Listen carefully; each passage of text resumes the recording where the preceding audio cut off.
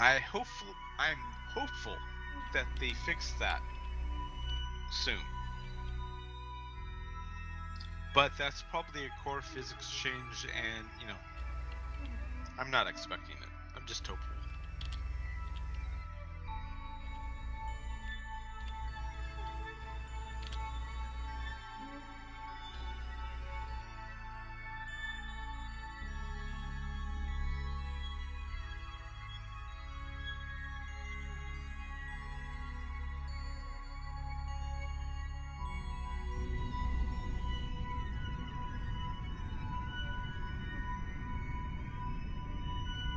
So you're using uh, KSP through Steam.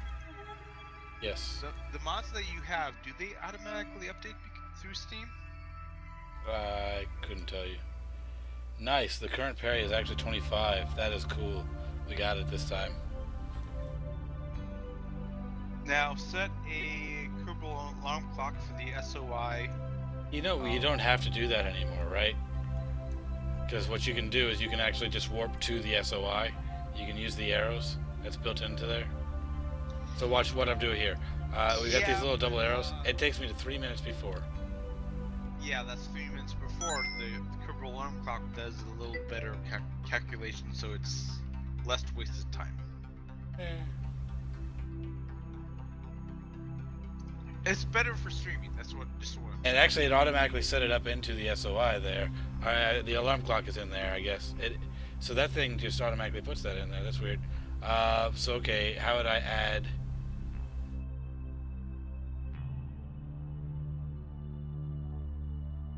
Oh, that's it right there. Okay.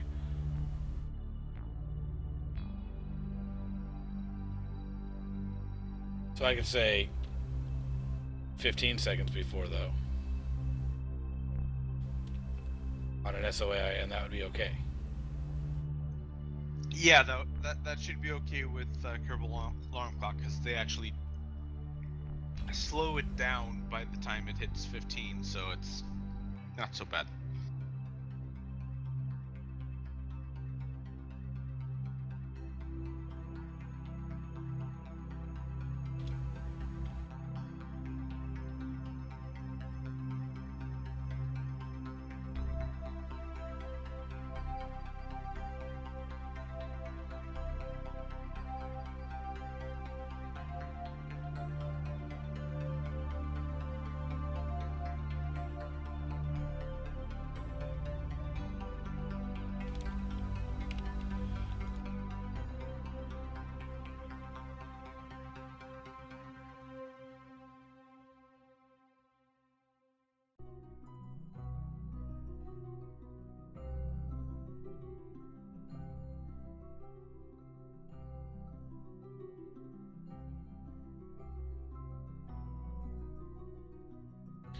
Okay, so we definitely have enough for this, but what about? Okay, let's see. I still have. Yeah, I barely used anything for that correction, so I have 2,886. Um, so on this actual approach, should I circularize the orbit at 25, and then? yeah, cir- circularize it once you pass the SOI. Yeah, we've already passed the SOI. I did a save. Dang the screen. Okay, I really hope the Surface 3 actually has a better resolution. Yeah, stream delay.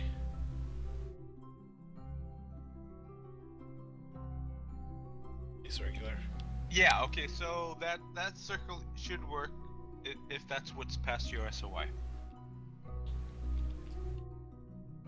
Um, how much delta V will, will you have remaining afterwards? Uh, if I do this right and it only takes me 200 to do this maneuver, then uh, 2,686. You'll have plenty of delta V to get back home if you want to land and collect some science. Uh, okay. Now the thing is, I will have to throw away. Uh, how much is it going to take me to actually land? Because I can't land with this stage. I will have to throw this stage away. So there's will be 435 left in this stage when we. Uh, no, that's enough to land. Circulars? Minmus, is a very Right. low gravity. Will here's what I need to know is from takeoff to circularization to transfer back to Kerbin. Can I do that with 2,200? From Oh, yes. takeoff. Okay. Yes. Because I'm gonna have to ditch stage two. So whatever I have left over with the landing, I know that this is enough to land with this stage. I have to ditch it mid-landing though. Right at the end of the landing, I have to ditch it. My landing legs are not on this stage. But you say you have 200 delta V in the current stage? My current stage has 600. No, I'm talking after this The maneuver. orbit. After the orbit maneuver, I'll have 400. That's enough to land on Minmus. Right. It's probably more than enough, and that means I'm going to have to throw some away, is what I'm saying. I'm going to have to ditch this tank with whatever's left in it. No, you can actually. Well, No, I cannot land with this tank. You'll have to see my design to see I cannot no, land I with it. I saw the design. Okay. Um, Minmus is very forgiving when it comes to landing. We can attempt it. Cole. Quick save? Oh, Yeah, quick save I was about to uh, welcome you, Cole, but never mind. Peace. Yeah, Minmus has Mhm. really low gravity, so you don't need to ditch anything. Just land carefully, and SAS will keep you craft standing upright. Uh, Jeb Kerman, welcome. 16865, welcome, and Hugo Van Payne. How you doing? Forgive my outburst, but I don't uh, take Wait. well to trolls entering my room. Wait, there was a uh, someone actually got the Twitch name of Jeb Kerman. Oh yeah, Jeb Jeb Kerman's been here for a while. Uh, I, I I've seen him a numerous times coming in here. It's a J3B. Oh, shit, yeah, okay. I see. J3B Kerman. yeah. Congrats on on the name, guy. Yeah, no, that's that's awesome. Great name. Um,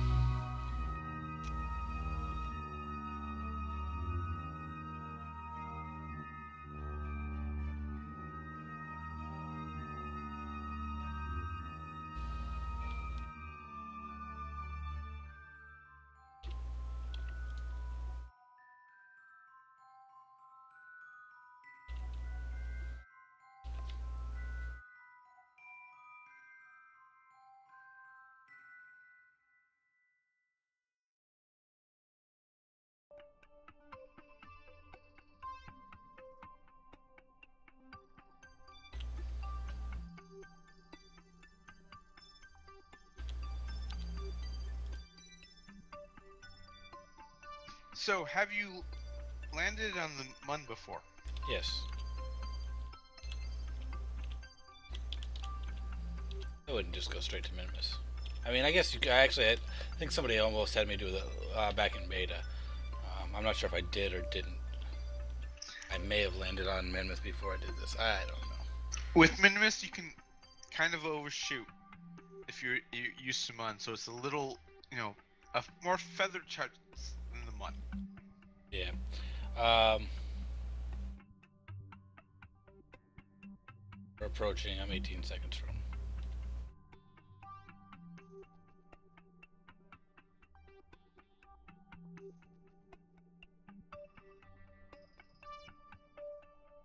Oh.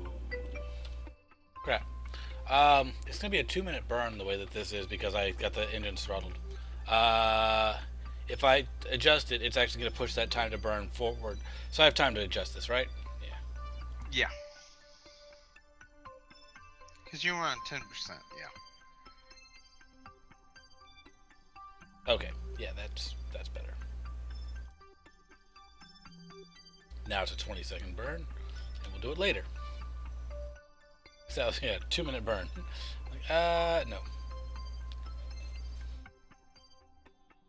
Now having that, you know, doing it that way, I would guarantee saving some delta V though. I mean, or like it'd be hard to waste the delta V, and so that's nice. It's you get more precision burns there. So there, there's pros and cons to both of those, I guess. Yeah. Especially when you're doing a longer burn, the uh, everything before the actual burn time that you have to be like like the instant impulse, you um you waste because you got to uh, make up for it on the other side. That is a different vector direction.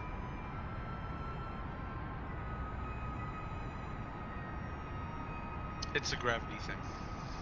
Yeah.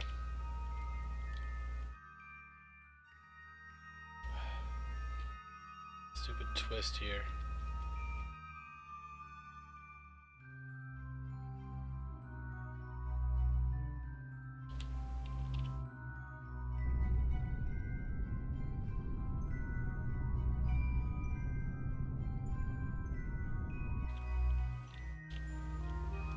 Yeah, no, that um ship could easily land on the mon- uh, on Minmus Yeah.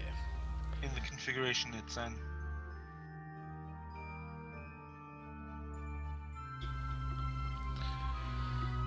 Let's see. Yes, Cole was welcomed by a hammer flying in his face. Yes. yes. All right. Well, I- with this, I am going to get a soda. Now we're gonna want to set this next node at the Apo, right, and do our land from that. Um, uh, It doesn't matter. I mean, they're they're pretty much they're pretty similar. yeah. For for Minimus, like I said, it's it's forgiving on the landing. Oh, and yeah, at that app, that yeah, no, that's that's uh, Yeah, we're at a 20, 24, 26. yeah.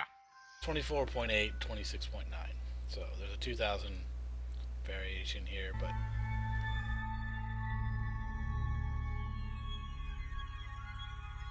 now we're just gonna.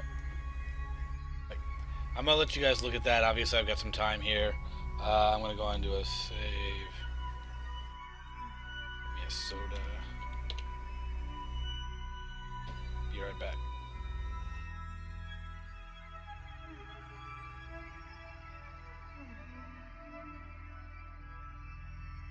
Oh, come on, work.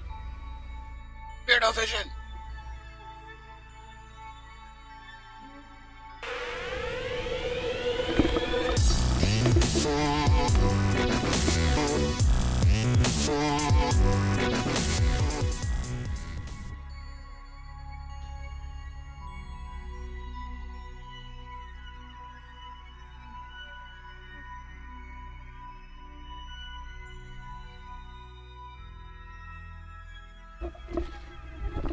Okay, well that broke. Um, I was trying to put up my uh, intro, and I guess one of my hotkeys conflicts with something, and it had me start to burn. I'm not sure what it what it did there. Oh,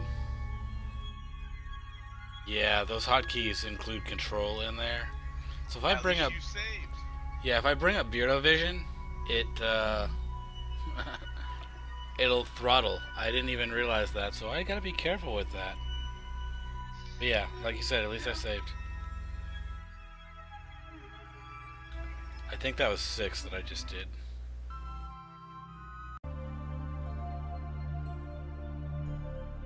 Yeah. I don't see a flat place on your orbit right now. That's the problem. What's that? I don't see a flat place on your current orbit. Oh, for to la- to actually a flat place to land. Yeah. Uh, that right there, maybe. There's not a lot. We don't want to be on the dark side, right? Yeah, uh, not unless you know exactly what you're doing. You know I do. Um, no, it looks like uh, Oh wait, no, there.